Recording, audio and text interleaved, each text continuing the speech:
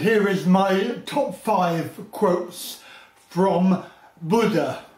And uh, Buddha was a real person that lived and uh, preached happiness and health and had a knack for putting quotes into short sentences that really mean a lot. And here is my top five of his quotes.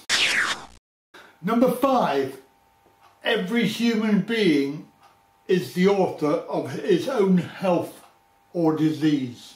This to me means that we have our own choices to make, that we choose, we can choose to live a healthy life, eat well, exercise, or we can um, we can just not do that and end up with um, ill health.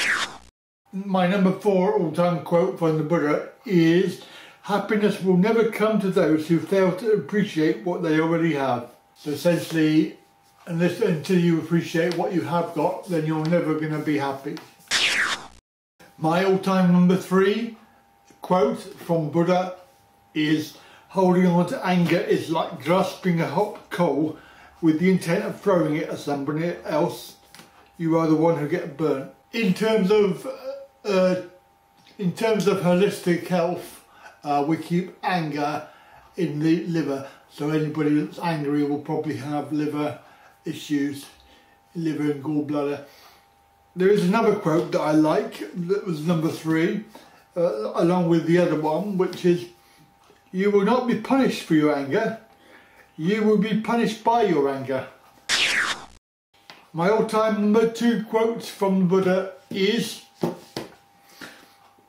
there are only two mistakes one can make along the road to truth.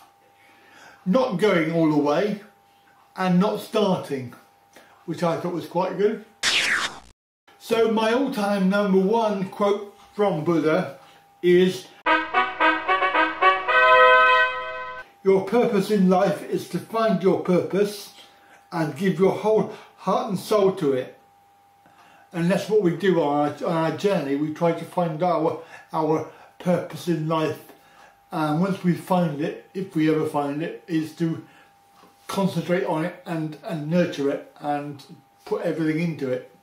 So there you go. Buddha was a very uh, wise man, and, and the basis for the Buddhist religion, which is quite well known all over the world, uh, especially Thailand where the predominantly is the main religion and all of the temples in Thailand are mostly related to Buddhism. So if you've enjoyed my top five today then don't forget to give me a thumbs up and um, subscribe to my channel for more. Thank you for watching and I'll catch you again very soon.